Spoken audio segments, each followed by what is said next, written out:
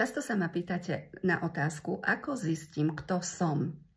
A na túto otázku sa odpovedá podľa mňa jednoduchšie vtedy, keď si vylúčime to, kto nie sme. Takže poďme najprv zistiť, kto nie sme. My nie sme to, čo si o nás myslia druhý. My nie sme to, čo nám sugerovali, že sme. My nie sme tí, eh, ktorí majú plniť očakávania druhých. Čiže keď vám niekto dookola omýlal, že ste nemožný, škaredý, tučný, chudý, vysoký, neschopný, eh, úplne na nič, tak to nie ste vy. To sú predstavy toho človeka o vás a on vám ich sugeroval a vy ste im uverili a preto sa teraz eh, snažíte tie predstavy naplňať, pretože vám to bolo sugerované.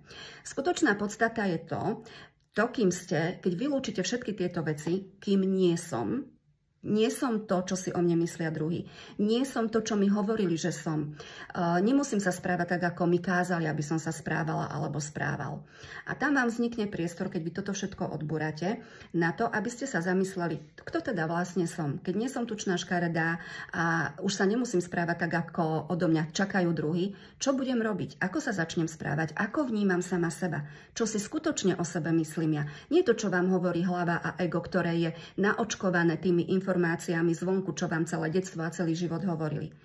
Pod tým všetkým ste vy, pod tými rečami, pod tým, čo si myslíte, že ste, len na základe toho, že vám to druhý vsugerovali.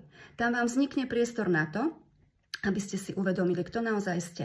Čo by ste robili, keby ste mohli byť sami sebou? Keby ste mali úplne slobodu a úplný, úplný, úplný priestor robiť iba to, čo ja chcem, tak čo by to bolo?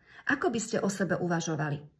Ako by ste o sebe zmýšľali? Aké ciele by ste si dávali? Na toto sa skúste pozrieť, pretože tam odhalíte pravdu o sebe. Tam je to, kto ste. Nie to, čo si o vás myslia druhý. Napíšte mi do komentára, ako vám to funguje a na čo ste prišli.